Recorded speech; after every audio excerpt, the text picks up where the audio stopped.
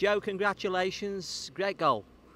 Yeah, thanks. Uh, yeah, glad to get get the goal that got us a point in the end. I think it's a strange one because we're disappointed. We haven't maybe done better and and come away with three points. That's what we wanted at the start of the game. But I think when you go behind away from home, I suppose you've got to uh, yeah you've got to be happy in some some ways with with just the point. And the goal, the free kick, tell us about that. It's one of them you you try your luck. When it doesn't come off, you maybe look a little bit stupid, but thankfully um, it came off today. Um, yeah, and it ended up in the back of the net. And it was a great strike as well, wasn't it? yeah, it's uh, it's it's just one of them. You know, they, you've got the element of surprise on your side. Um, I think you've got a good foil when you've got the likes of Crouchy in the box as well. I think you can see all their players probably had their eye on dealing with him, and then um, you try and use that to your advantage. Nobody else tried to take the free kick. You were next in line for it. Wanted Tom Ince had had one earlier, so uh, you know you were there. You put it in. yeah, I think um, yeah, it was one of them. Like you said, it was probably slightly wider maybe for Incy um, to shoot. I think, to be honest, the boys were probably expecting to come to come into the box as well. So um, yeah, it was just a good angle to to go around the wall, and uh, thankfully executed it uh, well enough to score. And a, a perfect time to score because they hadn't got time to come back really. No, and it's one of them where you score late on, but still with you know a few minutes to go. You think we're the ones with the momentum. Maybe we can go and nick it.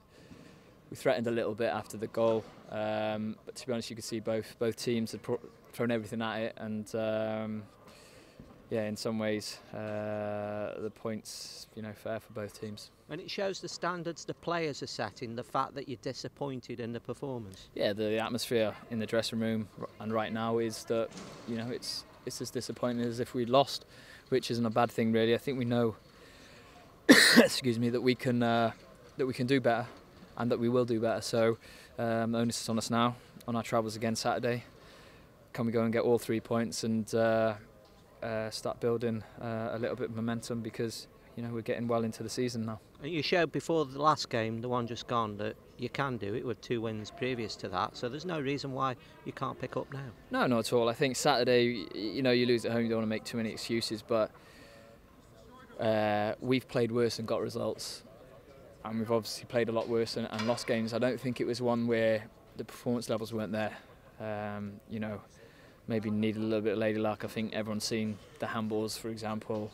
Another day they're, they're stonewall penalties, and uh, yeah, that's the way that game went. But um, yeah, we're not too disheartened by it. We know that um, yeah, if we keep the performance levels up and, and add to them, I think uh, we're going to start picking up more points than we have so far. Was it a hard game out there? Looking from from the stand, it looked looked a bit tough. Yeah, it was tough. I think they're they're full of confidence, especially at home. They play a very unique style. Um, yeah, which can throw teams off. So um, yeah, you can see why they are where they are in the table. Um, but having said that, we we're getting to a stage of the season now where yeah, we know the competition in the league. No one's uh, we're not you know we don't fear fear uh, anyone in particular, uh, and that's good because we've got the belief that we can we can get get ourselves further up the table. Does it make any difference to the players that the manager's not on the touchline, or does that not affect the players at all? no, ideally, you want him there.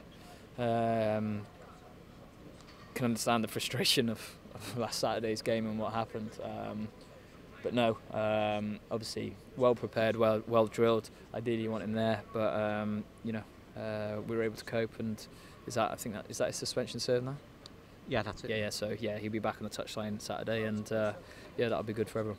And have you set yourself any targets, goal tonight this season? I mean, do you say to yourself, "I'm going to get X goals this this season"? Uh, not really. Um, I think, yeah, I think assists and goals is something.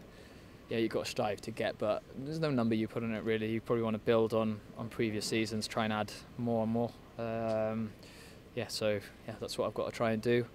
Um, yeah, and I think that's you know that's my job and what I've got to try and help this team.